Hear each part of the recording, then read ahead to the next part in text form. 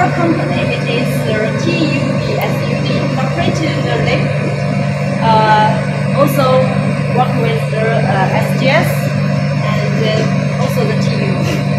Uh, for some small factories, because they do not have uh, worked with the uh, or SGS for their samples, uh, if they get any uh, certificate, they need to send their samples to the or SGS laboratory.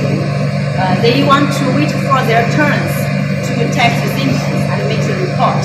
But for us, we are cooperating with uh, them, and our equipment, uh, test equipment, it is already automated by TUV and SGS. So we can text our samples in our library directly. Also, we can make the uh, text report by ourselves, then send for TUV and SGS for review. So it will be more convenient and more easily for us. That is our capability. Please trust us. Thank you.